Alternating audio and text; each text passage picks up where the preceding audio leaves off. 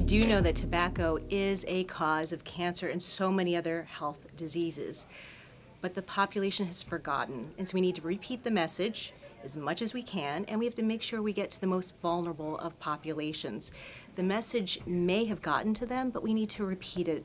For example, people who have less than a high school education, about 30% of them still smoke. While the rest of the population, we've made a huge impact. We're down to about 13.7%.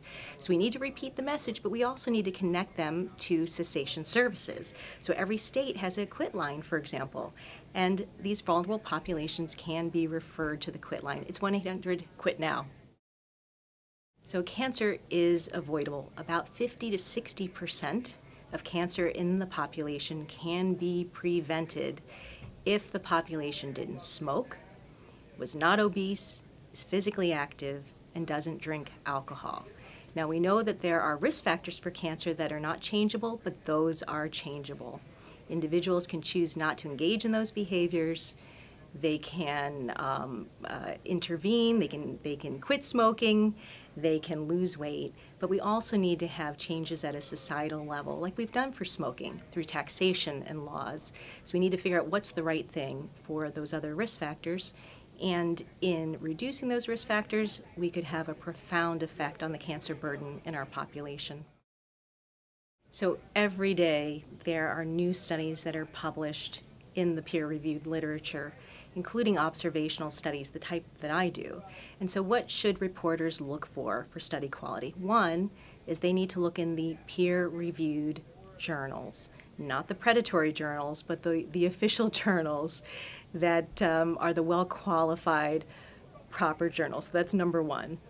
Number two, what they should look for are prospective cohort designs where individuals are recruited factors are measured and they're followed over the long term. Those studies are well designed.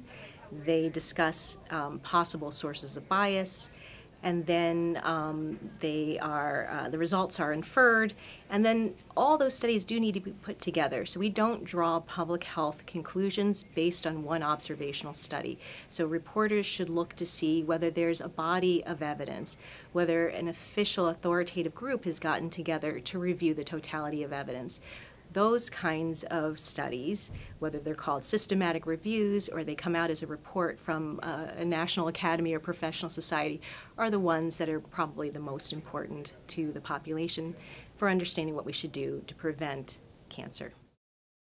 Predatory journals tend to be fly by night operations.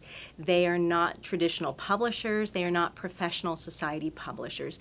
These are little operations that happen to exist because we have the internet. They do not do proper peer review.